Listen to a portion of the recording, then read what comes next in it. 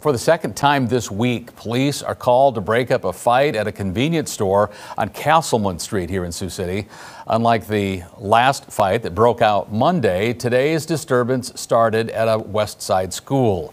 Police say that five individuals, with two being adults, were involved in that fight. At least one person taken by ambulance to a hospital for further evaluation.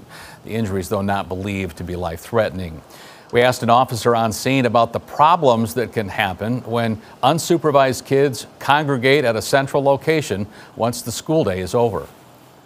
Just there's too many kids that get together down here unsupervised and then bad things happen. This Casey staff you know, they can't manage hundreds of kids. They can't manage all the hundreds of kids that end up showing up down here, and it usually just becomes a free-for-all.